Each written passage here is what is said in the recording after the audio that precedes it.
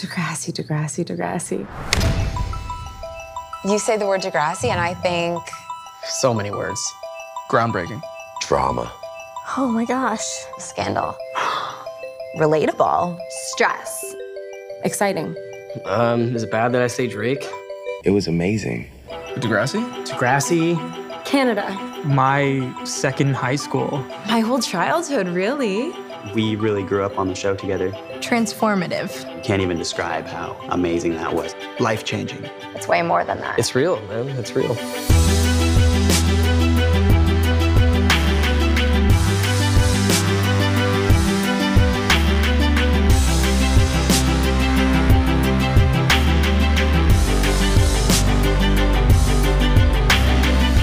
It's phenomenal what they've created. It was groundbreaking. iconic. Real. They've obviously changed the face of television. I mean, look at the history of the Degrassi. It's been around for so Yeah. long, and the material that it's touched on, and the things that it's been able to do within, you know, the 14 years it's been on air is incredible. In Degrassi, what we try and do is tell an authentic teen experience. No topic is taboo. Always pushing the envelope, always testing the limits. And the show itself was encouraging people to talk about things in honest ways. Whoa, that show goes there. Degrassi's pretty cool. Degrassi. What the hell did I ever do to you, Claire? You got me pregnant. I'm transgender. I just don't know if I can say bye to my daughter. I was drunk and helpless, and you assaulted me. I'm gay. I set the whole thing up. You stabbed me in the back. Put the gun down, okay? It's too late.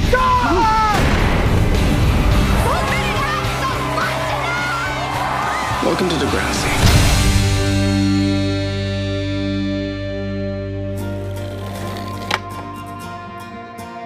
I like it at Degrassi. I love this school. Degrassi has been part of my life for 35 years. Linda, as an executive producer, is just an incredibly inspiring woman. Prior to becoming a, a television producer, I actually spent eight years in the classroom teaching junior high level. A school teacher with a curiosity about film equipment. Linda had an idea. She followed a passion, built an international iconic brand from nothing. and she made it into this entire world. Welcome to Degrassi. Linda and Steven are an incredible team. My wife and I have been executive producers of the show. Degrassi is their baby, Lynn and Steven are mom and dad. the mother and father. Mom and pop. Yeah, mom and dad. They've created this legacy. They believe in it so deeply to the core. They're just so passionate about the show. And really care about making a difference in the lives of kids. No matter what we did or where we went, I felt like we were in good hands. I know my lines. Well, maybe if you'd stop changing the blocking every five minutes, then. I know. How about I change the casting instead? I used to watch the show well before um, getting on it, and I thought I was the only one who knew about this show. It was a show I always, always wanted to be on. As an actor, you know, the Degrassi script comes across your desk. You know you're going to be a part of something big. The audition itself, I think it was just so nervous that I was shaking through the whole thing. Okay, maybe I'm being a little melodramatic. I get this part, which was a delight. And the next day I have to shoot, and I get there and they're like, we need you to break dance. I thought, I thought to myself, I don't know what I did in that audition that would imply superb breakdancer. I think, and it's nice too that the show casts age appropriate. Like, I think that's very unique to this program. Actual teenagers playing actual teenagers. We're gonna be 16 this year. Miriam at the time was 13. Cassie, who played Manny, was supposed to be 12, but she was actually 11. She lied, lied about her age. We were like 14, 15 years old. Hormones were raging. You see people grow up. You see people who start off at 13 years old, 14 years old, and then they graduate when they're 18, 19. When we get to uh, grade 12, they they move on. It's constantly changing. It's like a real high school. The actors themselves, of course, are moving on, and so those final scenes of graduation are incredibly emotional. There's a lot of tears, and a lot of them are coming from me. So I guess it's up to us to keep the drama going? There's definitely some very dedicated and loyal fans.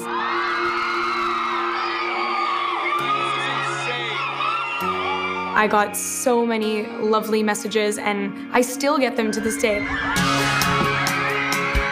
We showed up in person at a mall in America and It saw was thousands of people there with signs and t-shirts and crying. This one girl, she comes up to me and she was like, Can I jump you? And I was like, uh, security? This little girl came up and she was shaking. I'd never seen someone so excited. She had her little chihuahua. She wanted me to sign the chihuahua. You can walk in a mall like years later and have people kind of come up and grab you and hug you, and you kind of just know why. Our storyline spoke to them, and I think that uh, it's very rare that television packs a punch like that. I think that when fans watch an episode, they're feeling like, I got really close to making that mistake. Or they see something in themselves and they find themselves going, that's why I'm hurting so badly. Every season, we have fans write to us and just tell us how like one story has impacted their lives. Wow. I've been off the show for three years, and I still get girls being like, Fiona's storyline gave me courage to come out to my friends and family. You think, yeah, this is why we all do what we do. And it was so cool that we got to touch these kids' hearts and just teach them all these issues that are going on. It's always portrayed really serious issues that a lot of teens are going through, and it doesn't try to glorify it. It's not like a public service announcement, like it just kind of shows these things that are happening.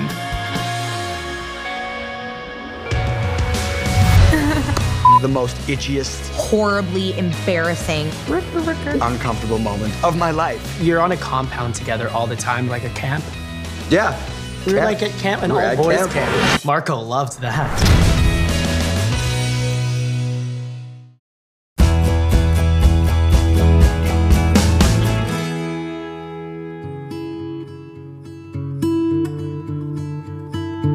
All the coming out stories are different and are really true to their eras. Obviously, diversity is really important to Degrassi, and one of the reasons why Adam came onto the show was we really wanted to tell the story of the transgender journey, and that's something that we hadn't done before. Adam is a female to male transgender. The Adam storyline was important for the same reason why it's important to me is I had zero idea about that topic.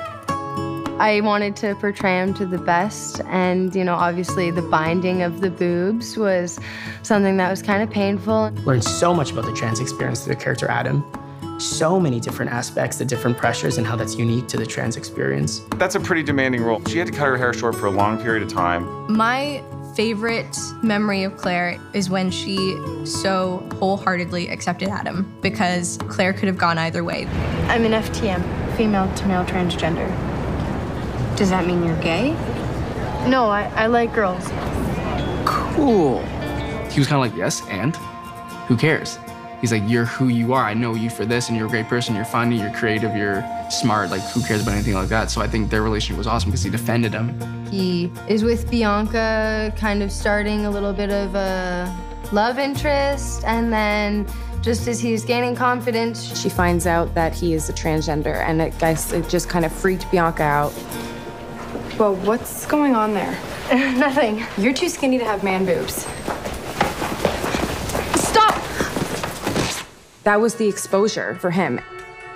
And he must have been so embarrassed at that time and so open. That's like the worst nightmare for somebody that's trying to hide that. I mean, they don't want everybody in the school knowing. Did you miss the sign on the door? No, I saw it, thanks. It means guys. And uh, we heard something from B. He was struggling with becoming himself. And Adam was bullied by people in school who didn't understand his situation.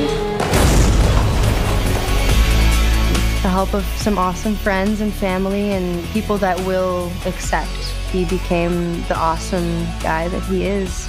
And I'd love to have him as a friend. Not ready to burn it? Still me. Adam, who was finally getting into a good place. Adam is camping with some of his friends, and he's like, I need to see Becky right now. I need to go.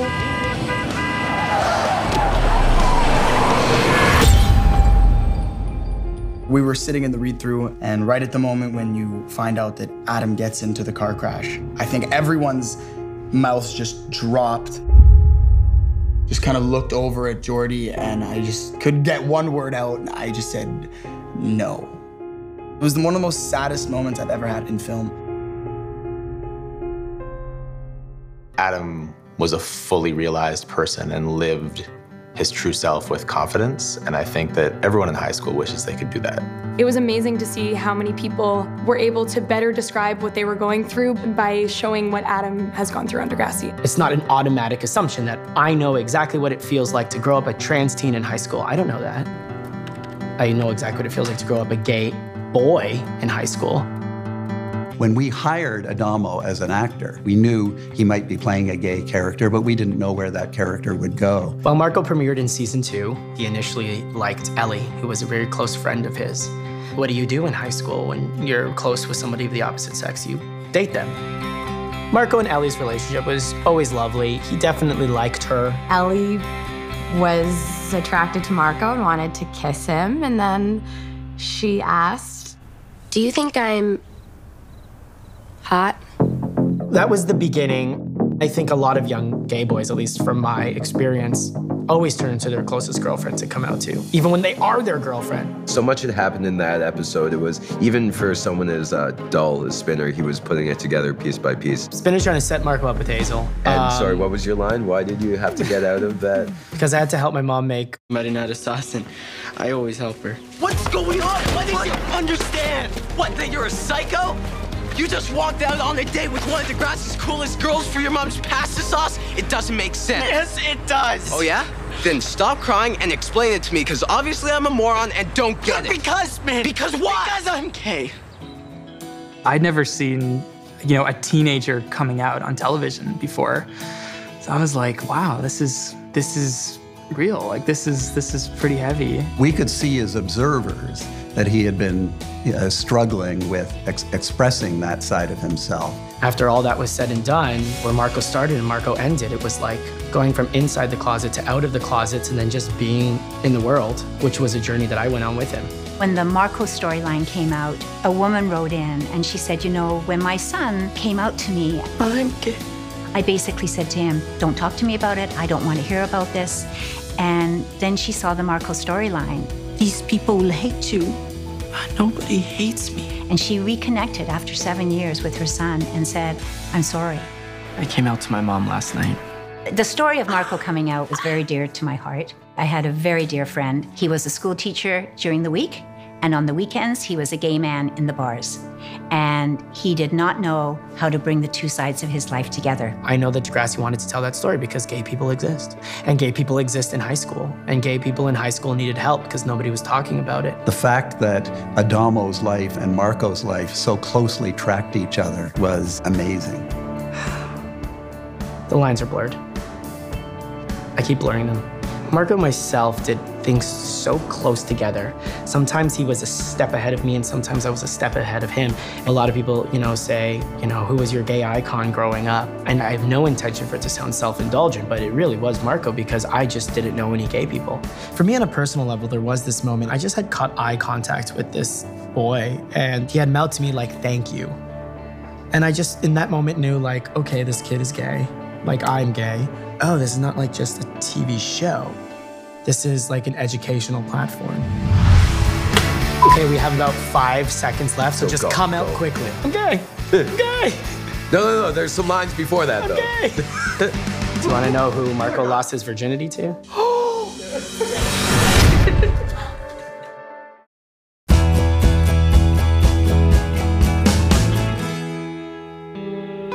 You're bipolar. You, you've got a chemical imbalance in your brain. You make it sound so easy. Every day is gonna be a struggle. Why? I'm not some loser who tries to hurt himself. It was an accident. I think when it comes to mental illness, it's really hard for people to talk about it. There was still a bit of a stigma about mental health. It was a little bit of a taboo subject.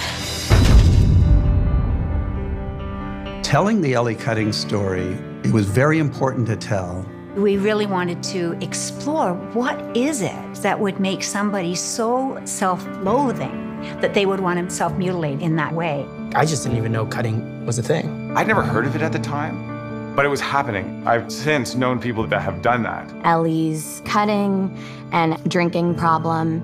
The link between all of those things was that her instinct was to suffer in silence. She didn't see herself as beautiful. She felt she deserved to be in pain. Ellie wasn't perfect, and she wasn't the perfect girl that everyone thought she was.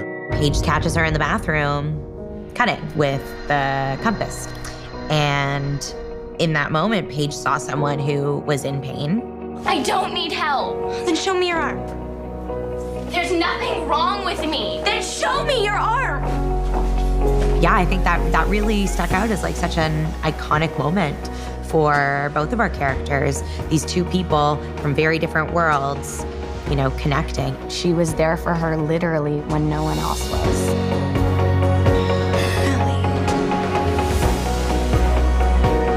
It was just a lovely storyline because Paige and Ellie were such enemies. Was To see Ellie show that vulnerability meant she really needed help.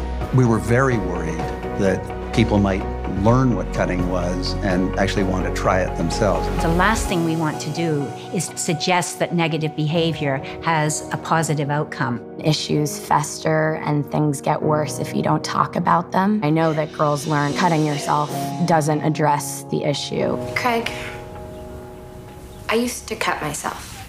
And what's bizarre is that I'm always gonna be a cutter. Even if I don't do it for years, it's still me. I'm bipolar. Bipolar disorder, chemical imbalance, it's no one's fault and it's nothing that anyone should be ashamed of. Lots of people don't understand why they have such a temper, why they're so impulsive. What excuses did we make for him trashing that hotel room? We all have bad days. Been there. We had one take to trash the hotel room. I think I pulled the the, the, electrical socket out of the thing so it like sparked and like shocked me. But I kept going. Should I stop? No, I'm gonna keep going and painting and there and TV. And I remember like at the corner of my everyone is like We were cringing with some of his actions and some of the things he said. Ash and I are getting married. We also were so sympathetic to him. I'm crazy, Ash. You're not crazy. And explain why, despite everything they tell me, I feel fine. He was struggling with a mental illness, but that didn't make him a bad person. That didn't make him a sick person. He was somebody who was really troubled. I remember receiving a lot of mail from teens that were bipolar who loved that there was a character on TV who was healthy and had his ups and had his downs, but was a normal guy and was bipolar, and that they were representing it in this realistic way. Nothing is fine, it's all wrong! Those are crazy person eyes. You were having a manic episode. And hurt a lot of people. When I found out that they were making Eli bipolar, I was very excited. It's about making it authentic and making it real, and I like that. What did you do? I crashed Morty. But you could have died. It was worth it though. Eli would do things you just like, why are you doing this? Like, calm down.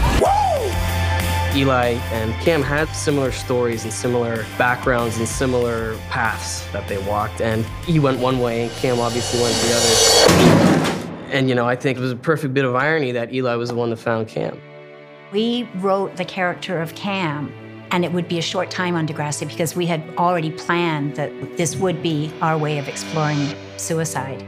That was like the craziest read through I've ever had when we found out Cam died. I remember that read through so clearly, just being absolutely blindsided. It almost seems obvious looking back that that was going to happen, but I really didn't know. And like the last scene we had together in the principal's office, it was sort of like my goodbye without saying yeah, goodbye. I remember that. I actually remember that day when they were like, cut. Yeah. And we were like, ah. I know, I couldn't believe it was over. Dylan was incredible with his portrayal of a very talented hockey player and yet a tortured soul. He was a kid trying to navigate the world. And he had a little bit more difficulty doing that. He did things that weren't always the best solution of the problem. He wasn't able to cope with them as well as most people. I feel like with Degrassi, everyone usually gets to really low points, but they usually end up okay. So for it to actually happen and him to actually die was like a big thing. Don't look. Just go find a teacher and call 911, okay? It wasn't a fairy tale ending. I think that kind of really woke people up a bit and kind of shook them up. I'm very sorry to have to tell you this, Maya. Campbell Saunders is dead. I just remember standing there And watching the fans, when Principal Simpson says Cam Saunders is dead, and watching all these fans just start crying, man. And I was like, wow, man, like that was that was a powerful scene. When Cam commits suicide, people didn't want to accept it. That's powerful when you've introduced a fictional character that people feel so close for and want to see succeed and lose. The character Maya got a lot of uh, online hate as his girlfriend for not having wept and really reacted as emotionally as all the fans wanted her to react. This is so stupid. It's no one's fault. I mean, it's his fault. We were criticized a lot because we didn't have an incredible eulogy. We didn't want to glorify the act. After one takes their own life, you get to see how everyone else has to deal with it. You was upset? Why didn't you do something? You should have done something! You did nothing! The purpose was to show the devastation for the people that you leave behind and that it was avoidable and it was preventable. Look how intimate we are right now. It was uncomfortable. Yeah, we had to like make out. I just grabbed both of her shoulders and just plant such a forceful kiss on her. Whoa.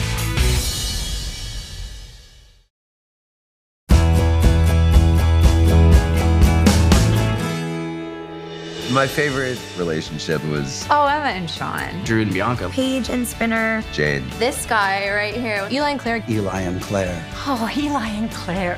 I'll always be here for you no matter what. I love those two. I think the thing that surprised me most about Eclair was how well it worked. It's one of those things that just caught fire in a way we didn't expect. How do you begin the greatest love story that Degrassi has ever seen? We had planned for the arc for Eli and Claire early on in season 10. The Eli character is introduced with just the line, you have pretty eyes. That scene was something. It's funny that it had so much weight to it.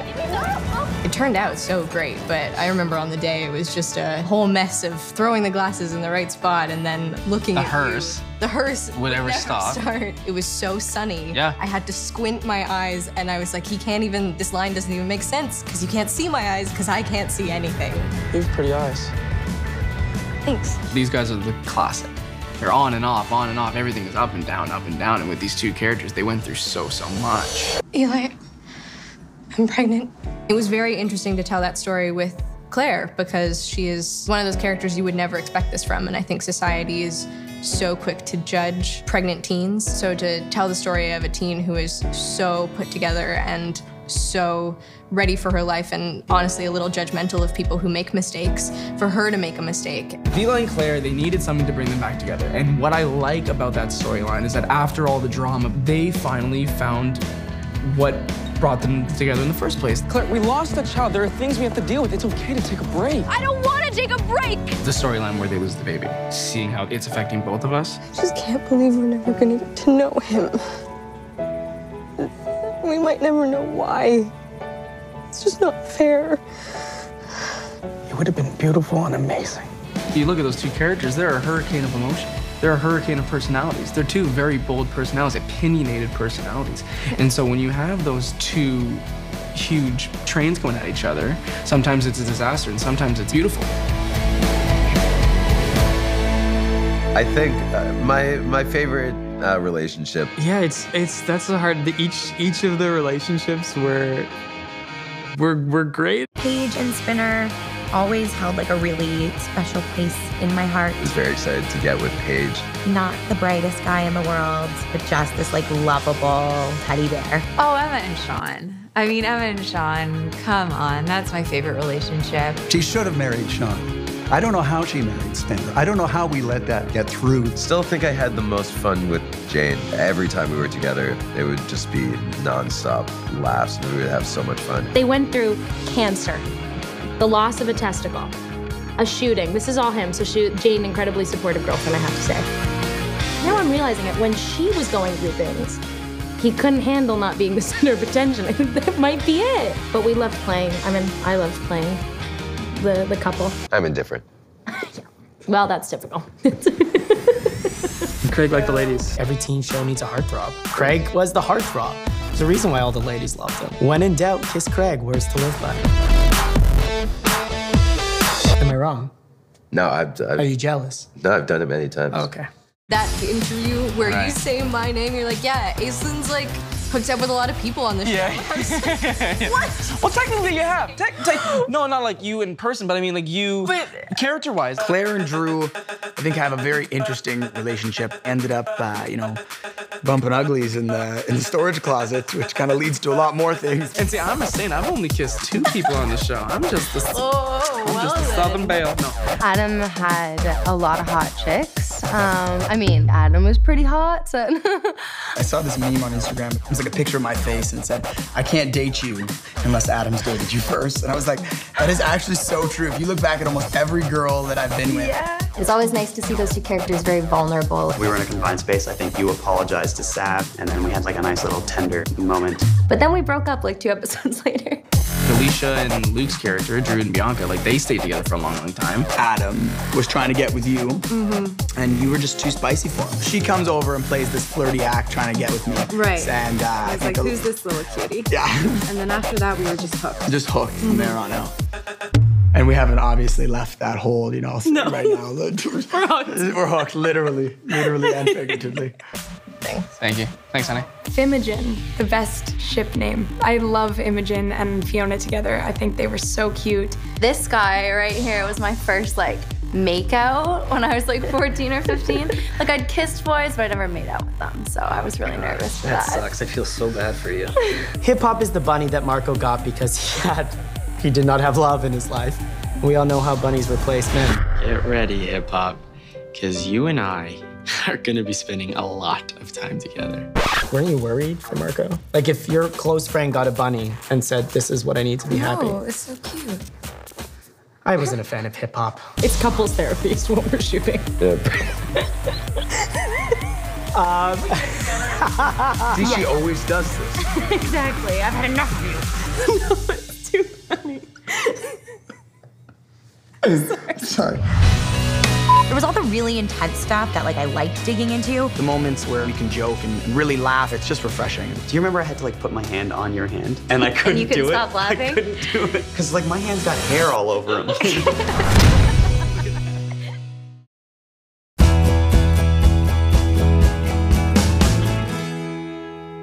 On the charge of sexual assault, the jury finds the defendants guilty. How could you do that to me? I was just a little girl. I said no over and over.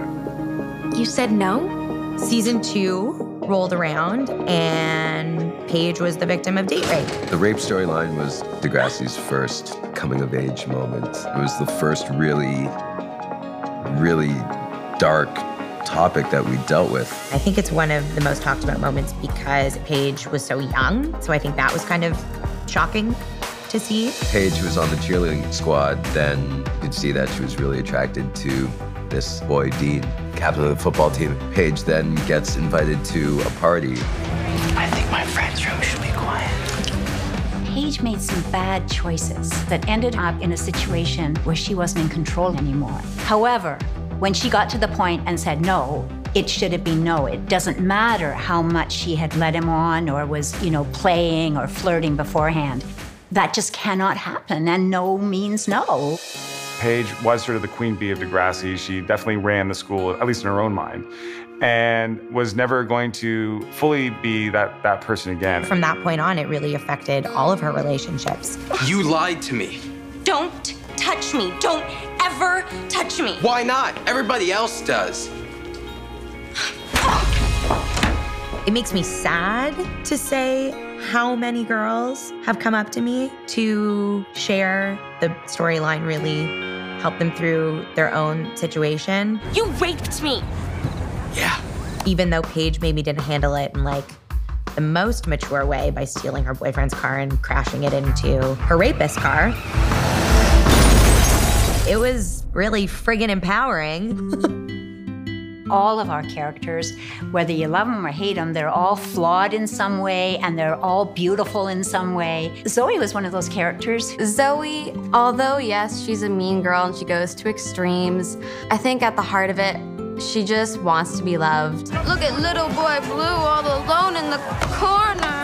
Zoe is sexually assaulted at a party where she gets drunk, and two culprits that we're not sure who they are at first uh, film her on their phone as they take advantage of her. That story was particularly necessary to be told because of the role of technology and social media. Who would do this to me? I thought Ana did just a remarkable job in her acting in that very, very difficult for a young actress to portray someone who is sexually assaulted. I blacked out.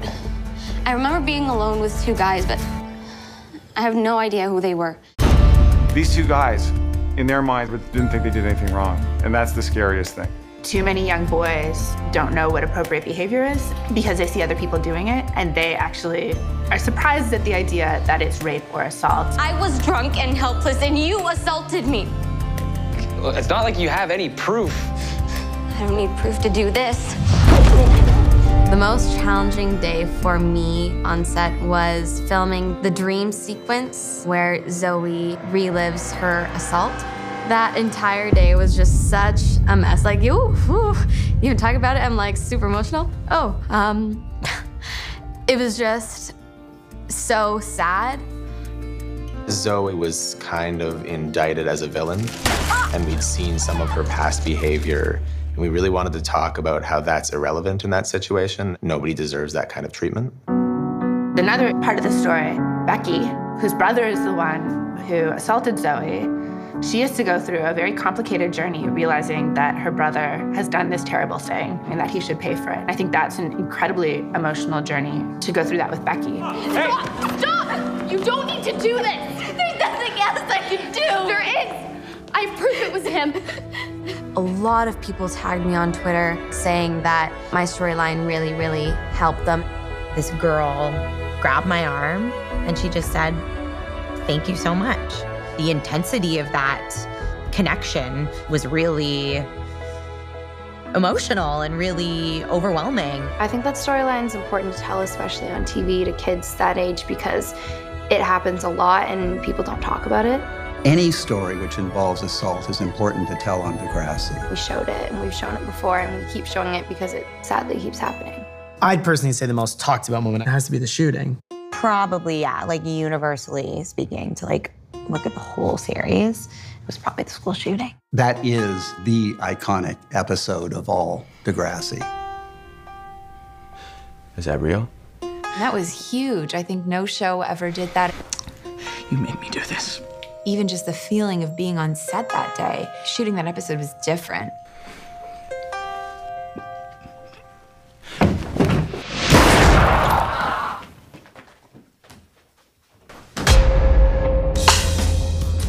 Degrassi is this thing that connects everyone who's ever worked on it. Even now, like I miss everyone. I would go back. I'd do it all over again. Better late than never. But never Yeah. late is better.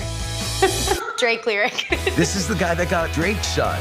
I didn't shoot him. It was indirect through a chain of events. Wait, I, it- never mind.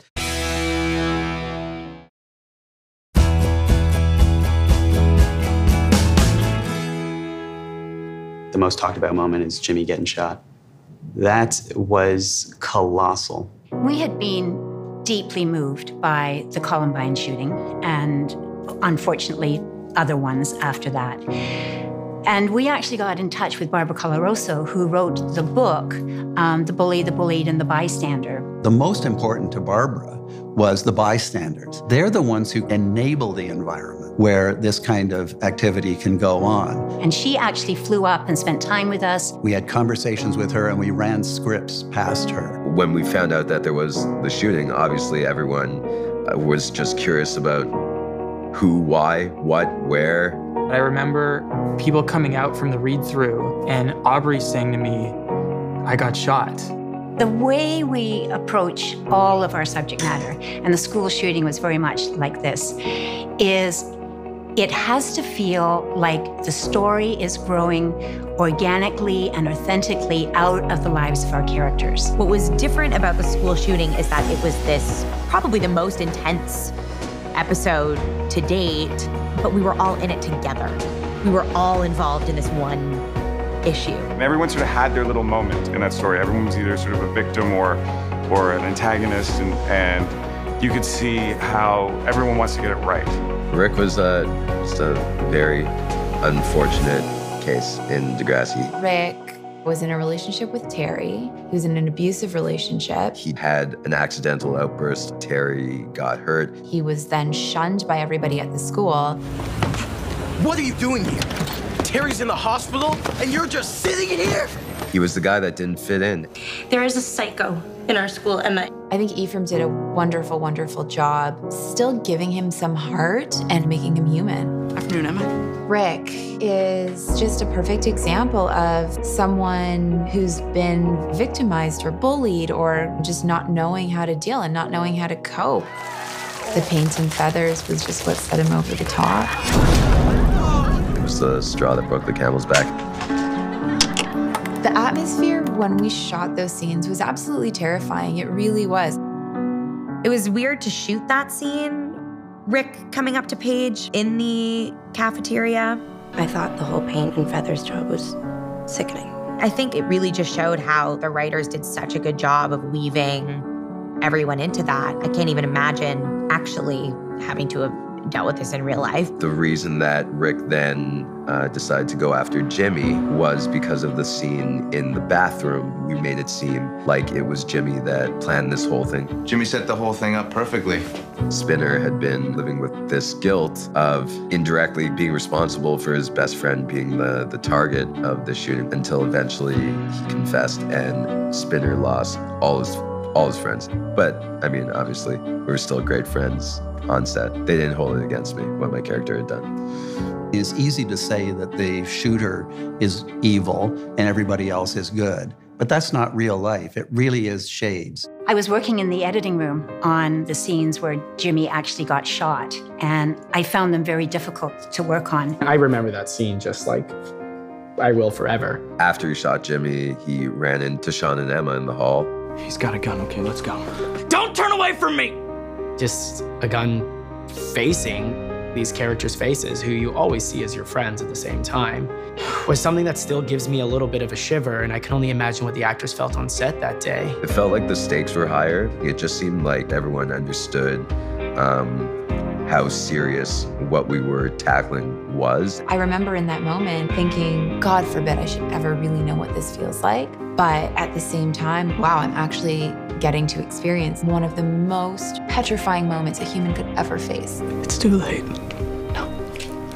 It was genuine, the fear. Stop! That was the day that Degrassi grew up.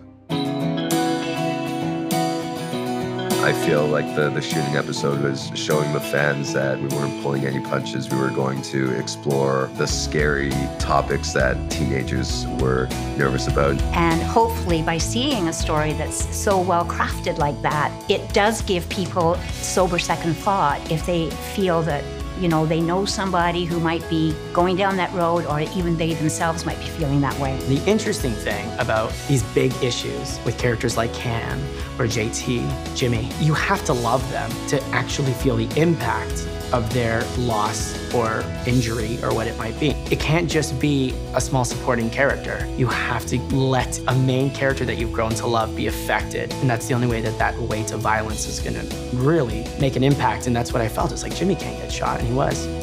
There is something about that teenage experience where things things seem to happen in really sharp, vivid colors. Degrassi's just like constantly been at the forefront of every new issue that faces teens today. A lot of the stuff that happens on the show are things that teenagers don't always feel they have a platform to talk about. Is this relevant? You know, do you have friends who have gone through similar situations? The big mandate of Degrassi is to reassure young people that they are not alone. That someone is listening and that they are empowered. We love the show, we love storytelling, but we really do hope that we're making a difference in the lives of these young people. This show was so life changing for me because of the family that I got from it. You're sharing your life together. And for a lot of these guys, you're growing up together. I talk about it all the time. It was one of the best experiences of my of my life. It was like, so cool. Yeah. They say you've got to be dark just to get through the night. They could block out the sun, but I still have your light. Degrassi sort of set the bar way too high. I don't know if I'll ever do anything better than Degrassi. It is really one of the greatest acting institutes. It's definitely been my favorite acting moment, and I'm sure it will be like no matter what comes along. I'm not giving